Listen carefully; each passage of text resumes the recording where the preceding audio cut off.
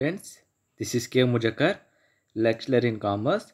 In today's video, we can discuss about the another rationale of the state intervention. Before going to discuss this video, till now who have not yet subscribed my channel, please subscribe my channel in order to get more updates and also share to your friends. Due to sharing, your friends may also get benefited. Okay, what is here promotional role?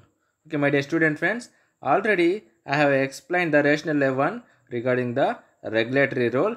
Please watch that video. Due to that, you will understand this part, this continuation part. Okay, see here in developing countries like India అంటే generally మనలాంటి developing economies a type of economic system follow అవుతా ఉంది జనరల్గా mixed economic system అనేది follow అవుతా ఉంది ఇక్కడ ఇద్దరు ఉన్నారు గవర్నమెంట్ అండ్ గవర్నమెంట్ వాళ్ళు సర్వీసెస్ చేస్తున్నారు ప్రైవేట్ వాళ్ళు కూడా సర్వీసెస్ చేస్తున్నారు. Okay it's fine. ఇక్కడ వరకు బాగానే ఉంది. కాకపోతే మిగతా కంట్రీస్తో డెవలప్డ్ కంట్రీస్తో పోలిస్తే మనలాంటి డెవలపింగ్ కంట్రీస్కి పూర్ పీపుల్ చాలా పూర్ పీపుల్ చాలామంది ఉన్నారు. High populated country.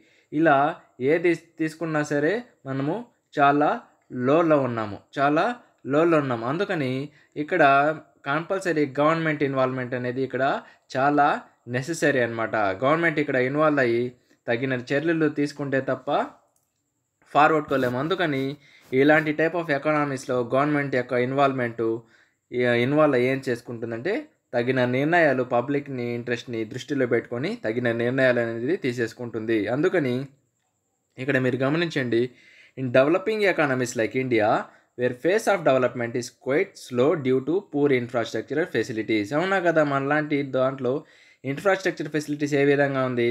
చాలా పూర్గా ఉంది. అందుకని కంపల్సరీ మన యొక్క గవర్నమెంట్ ఇన్వాల్వ్ అయ్యి వాటిని ప్రమోషన్ చేసుకుంటే ఇంకా బాగుంటుంది అంటున్నాడు. అందుకని మన లాంటి ఉంది కాబట్టి అక్కడ కేవలం ఇంకా వేరే ఆప్షన్ లేదు. అక్కడ ఒకే ఆప్షన్ ఏమిటంటే గవర్నమెంట్ ఏం తీసుకోవాలి? ఇన్వాల్వ్ అయ్యి ప్రమోషనల్ యాక్టివిటీస్కి దారి తీయాలి అంటున్నాడు. Next the entrepreneurs and industrial houses are not interested in development of infrastructure facilities as these activities are capital intensive and have a long gestation period అంటున్నాడు. అంటే ఏమిటంటే ఇక్కడ ఇప్పుడు ప్రైవేట్ వాళ్ళు ప్రత్యేకంగా దీనికి ఎందుకు చూస్ చేసుకోరంటే వాటికి ఆ యొక్క డెవలప్మెంట్ తీసుకోవడానికి ఎక్కువ బడ్జెట్ కావాలి. ఇంకా దానికి ఎక్కువ క్యాపిటల్ ఇంటెన్సివ్ అంటే ఏమిటంటే మొత్తం దాని యొక్క వర్క్ మొత్తము మెషినరీ బేస్డే ఉంటుంది. దానికి హై బడ్జెట్. ప్లస్ ఇప్పుడు ప్రైవేట్ వాళ్ళు ప్రైవేట్ వాళ్ళ యొక్క మెయిన్ వాళ్ళ యొక్క మెయిన్ క్యారెక్టరిస్టిక్స్ ఏమి? తక్కువ టైంలో షార్ట్ పీరియడ్ ఆఫ్ టైంలో ఏం చేయాలి? ఎక్కువ ప్రాఫిట్స్ అనేది ఎర్న్ చేయాలి. ఎక్కువ ప్రాఫిట్స్ అనేది ఎర్న్ చేయాలి. అదే ఇలాంటి టైప్ ఆఫ్ ప్రాజెక్ట్స్ అంటే ఏమొస్తుంది అక్కడ? ఎందుకు వాళ్ళు చూస్ చేసుకోరంటే దానికి మొత్తం మెషినరీ పైన చేయాలి. హెవీ బడ్జెట్ ఉంటుంది.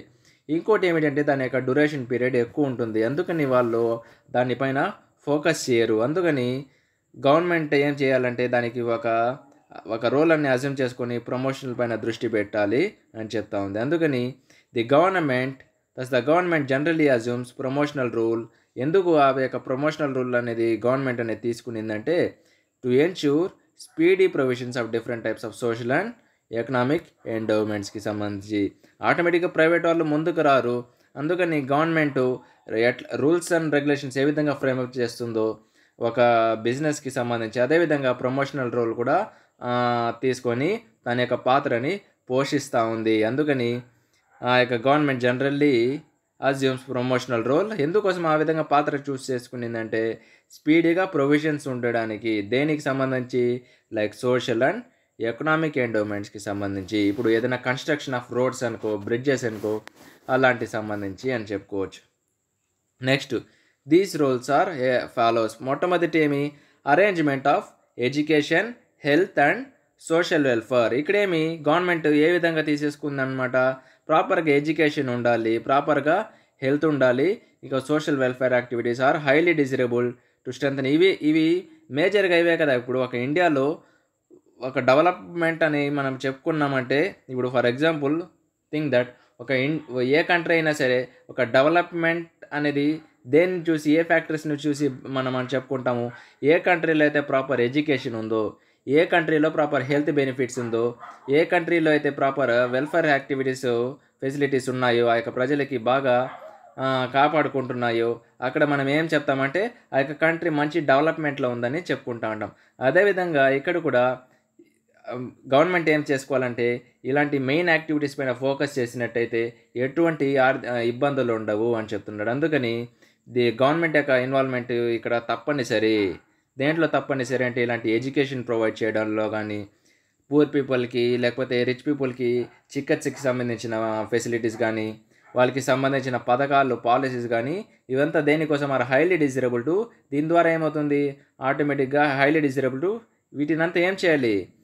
ప్రమోషన్ తీసుకుని ఏం చేయాలి? స్ట్రెంగ్తన్ చేసుకోవాలి. దీటిని అంతా స్ట్రెంగ్తన్ చేసుకోవాలి మన యొక్క కంట్రీది అని చెప్తున్నాడు. Next these endowments are also require to accelerate the face of industrial development in the country ఆటోమేటిక్గా ఈ యొక్క ఎండోమెంట్స్ అంతా గవర్నమెంట్ ఏం చేయాలి?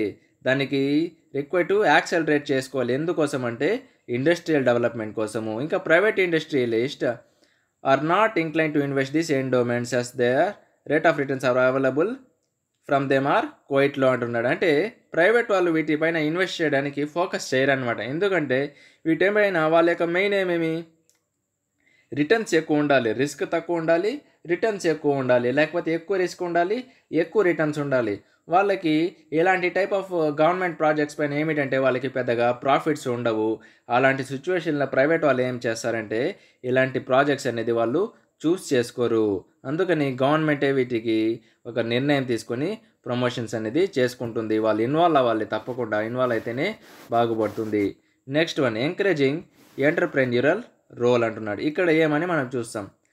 గవర్నమెంట్ డెవలప్ చేసుకుంటుంది. ఏమి డెవలప్ చేస్తుంది? ట్రైనింగ్ సెంటర్స్ డెవలప్ చేస్తుందంట. ఎందుకంటే టు ఇంప్రూవ్ ఎంటర్ప్రీనియర్ స్కిల్. ఎందుకంటే ఇప్పుడు అక్కడక్కడ మనం యూనివర్సిటీస్లో కానీ కొంత బయట గమనించినట్టయితే కొన్ని మేజర్ సిటీస్లో ఏం చేస్తుందంటే ఎంటర్ప్రెన్యూరల్ స్కిల్ ప్రోగ్రామ్స్ కానీ ఇన్స్టిట్యూట్స్ కానీ పెడుతుందన్నమాట. ఎందుకంటే ఎంటర్ప్రెన్యూర్స్ అంటే ఏమి? ఎంటర్ప్రెన్యూర్ అంటే పర్సన్ ఎవరైతే ఆ యొక్క రిస్క్ ఆఫ్ ది బిజినెస్ని అండర్ చెక్ చేస్తాడో. ఇంకా ఒక సింపుల్గా చెప్పాలంటే ఒక ఎంటర్ప్రెన్యూర్ అనే వ్యక్తుడు ఏం చేస్తాడు?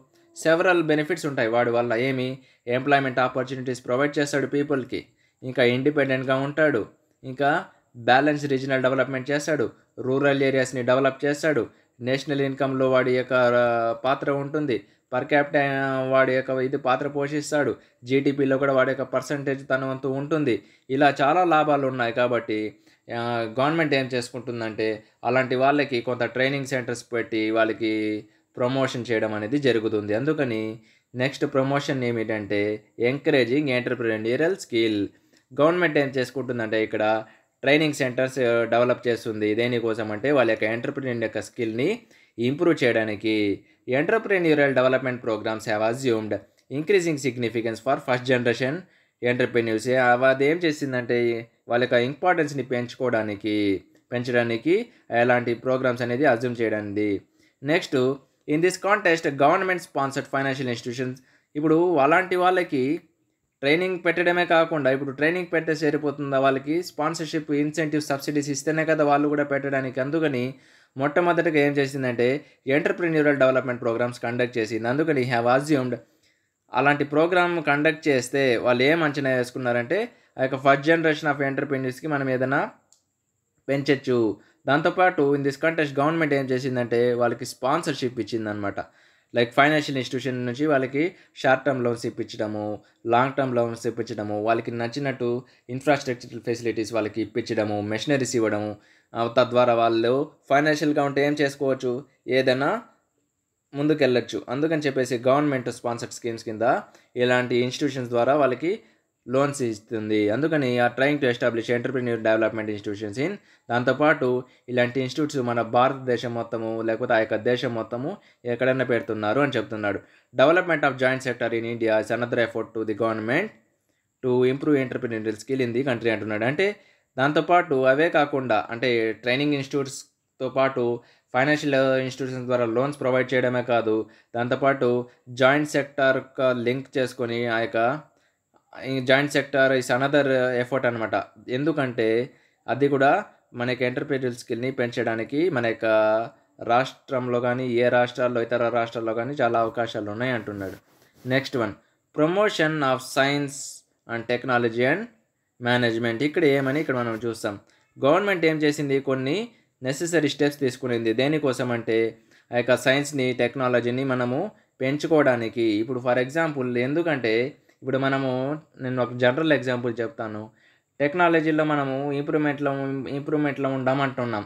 కాకపోతే ఇప్పుడు ఫర్ ఎగ్జాంపుల్ ఒక ఏదైనా పర్సన్ ఒక ఏదైనా మ్యాన్ హోల్లో కానీ ఏదైనా సంబంధించి అక్కడ పిల్ చిన్నపిల్లలు పడిపోయినట్టయితే ఆ చిల్డ్రన్స్కి మనము ఎంతసేపట్లో లేస్తున్నాము? ఇప్పుడు ఫారిన్ కంట్రీస్లో అయితే కరెక్ట్గా ఒక ట్వంటీ ఫోర్ అవర్స్ లోపల వాళ్ళని తీసేస్తున్నారు. పిల్ పిల్లలు పడిపోయినట్టయితే చిల్డ్రన్స్. మనలాంటి ఇండియాలో ఎందుకు చాలా వీక్గా ఉన్నాము?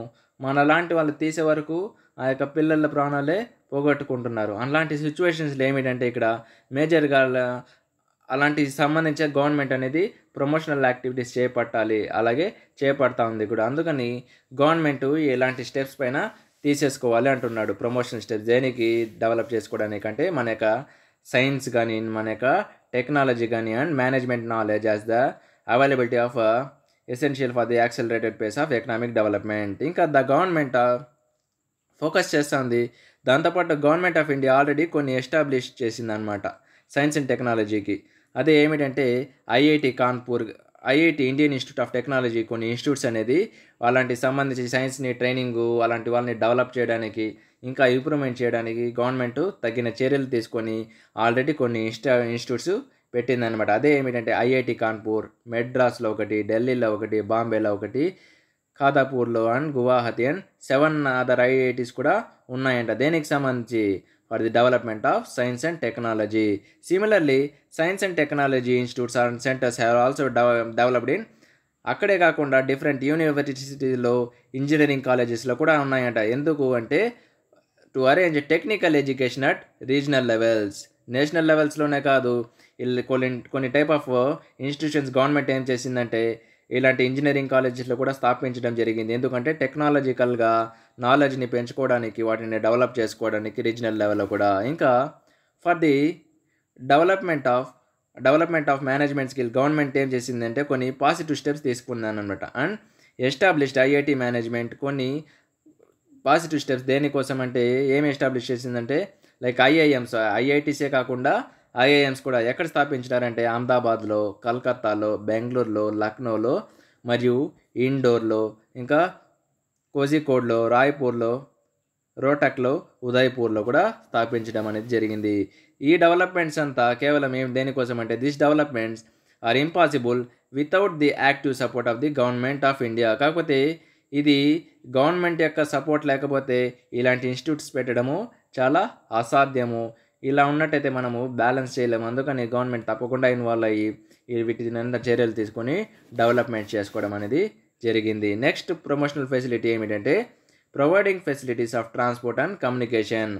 ఇంకా దాంతోపాటు science and technology education health ఇలాంటితో పాటు ఇంకో ప్రమోషనల్ ఫెసిలిటీ దేని ఫోకస్ చేసిందంటే adequate transport and communication facilities. దాని దానికి తగినట్టు కొన్ని నెసెసరీ ఫెసిలిటీస్ తీసుకునేది అనమాట దేనికోసము? For the purpose of the industrial development ఇంకా the government has monopoly power the post railways and it indicate seriousness of the government to develop the sectors in right direction ఇంకో దాంతోపాటు కొన్ని కొన్ని అన్ని industries ఇప్పుడు మన లాంటి మిక్స్డ్ ఎకానమీలో ప్రైవేట్ ఉన్నాయి పబ్లిక్ ఉన్నాయి కదా. ప్రైవేట్ ఉన్నాయి పబ్లిక్ కూడా ఉన్నాయి. కాకపోతే ఇలాంటి మనలాంటి మిక్స్డ్ ఎకనామిక్ సిస్టంలో పబ్లిక్ సెక్టార్స్ పబ్లిక్ ఇండస్ట్రీస్ ఉన్నాయి. ప్రైవేట్ ఇండస్ట్రీస్ కూడా ఉన్నాయి. కాకపోతే most of the private industries ఉన్నా కానీ కొన్ని ఇలాంటి మేజర్గా ఏం మేజర్గా పబ్లిక్ కొన్ని ఇండస్ట్రీస్ దేని కిందకు ఉన్నాయి గవర్నమెంట్ కిందకు ఉన్నాయి ఇప్పుడు ఫర్ ఎగ్జాంపుల్ రైల్వేస్ ఇలాంటి కెమికల్ ఇండస్ట్రీస్ ఇలాంటి డిఫెన్స్కి సంబంధించిన దేని కిందకు ఉన్నాయి గవర్నమెంట్ కిందకే ఉన్నాయి.